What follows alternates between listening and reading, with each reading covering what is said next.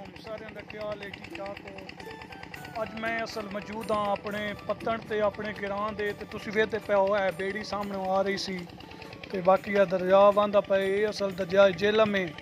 ਤੇ ਮੈਂ ਇੱਕ ਦੋਸਤ ਨੂੰ ਲਾਣ ਆਇਓ ਤੇ ਤੇ ਮੈਂ ਕਿਹਾ, ਚਲੋ ਯਾਰ, ਤੁਹਾਡੇ ਨਾਲ ਇਹ ਵੀ ਪਿੰਡ ਦਾ ਮਾਹੌਲ ਸਾਂਝਾ ਕਰਦੇ ਸਾਂ। ਇਹ ਪਿੰਡ ਦਾ ਪੱਟਣ ਦਾ ਕਮਰਾ ਹੀ। ਬਾਕੀ ਦਰਿਆ ਵੇਖਦੇ ਪਏ ਹੋ ਤੁਸੀਂ।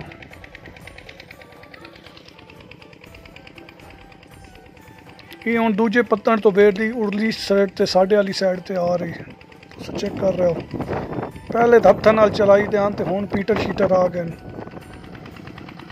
ਇਹ ਹੁਣ ਉਹਨਾਂ ਬਾਣੇ ਕਾਂ ਜਾ ਬੜਾਈ ਹੋਈ, ਨਾਲ ਹੈ ਪੀਟਰ ਲੱਗੋ ਆਈ ਪਾਣੀ ਵਾਲਾ। ਇਹ ਹੁਣ ਮੈਂ ਵਾਪਸ ਜਾ ਰਿਹਾ। ਇਹ ਸਾਡੇ ਆਂ ਤੇ ਸੁਣ ਬੇਲਾ ਸਦੇਨੇ ਨੇ। ਇਹ ਪਹਿਲੇ ਖੈਰਾਬਾਦ ਹੁੰਦਾ ਸੀ ਤੇ ਹੁਣ ਮਾਸ਼ਾਅੱਲਾ ਕਣਕ ਤੁਸੀਂ ਚੈੱਕ ਕਰ ਰਹੇ ਹੋ। ਵੀਆਈਪੀ ਕਣਕਾਂ ਵੀ ਹੁਣ ਹੋ ਗਈਆਂ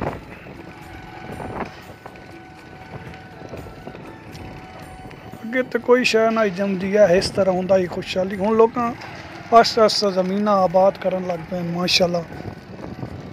ਅੱਛਾ, ਕਰ ਰਹੇ ਹੋ। ਮਾਹੌਲ ਬੜਾ ਸਕੂਨ ਦਾ, ਬੜਾ ਖੂਬਸੂਰਤ ਮਾਹੌਲ ਹੈ ਪਿੰਡ ਦਾ।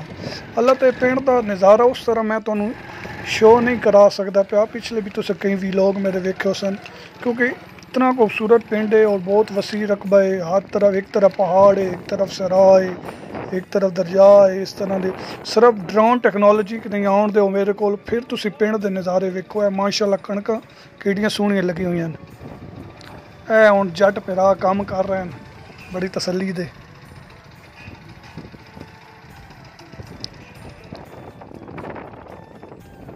ਇਹ ਖਾਲਾ ਸ਼ਾਲਾ ਬੜਾ ਹੋਇਆ, ਵੱਡਾ। ਜਿਹੜਾ ਜ਼ਮੀਨ ਪਾਣੀ ਸ਼ਾਣੀ ਲਵੀਂਦਾ, ਚੈੱਕ ਕਰ ਰਹੇ ਹੋ ਤੁਸੀਂ। ਇਹ ਹੁਣ ਕਿਉਂਕਿ ਕਣਕਾਂ ਦਾ ਮੌਸਮ ਇਸ ਤਰ੍ਹਾਂ ਚਲਾਇਆ ਕਦੀ ਨਹੀਂ। ਬਾਕੀ ਹੁਣ ਵੇਖ ਰਹੇ ਹੋ ਤੁਸੀਂ। ਖੂਬਸੂਰਤ ਨਜ਼ਾਰੇ ਪਿੰਡ ਦੇ ਤੇ ਹੁਣ ਤੋਂ ਇਜਾਜ਼ਤ ਚਾਹੁੰਦੇ ਹਾਂ। ਅੱਲਾ ਨੇਗੇਬਾਨ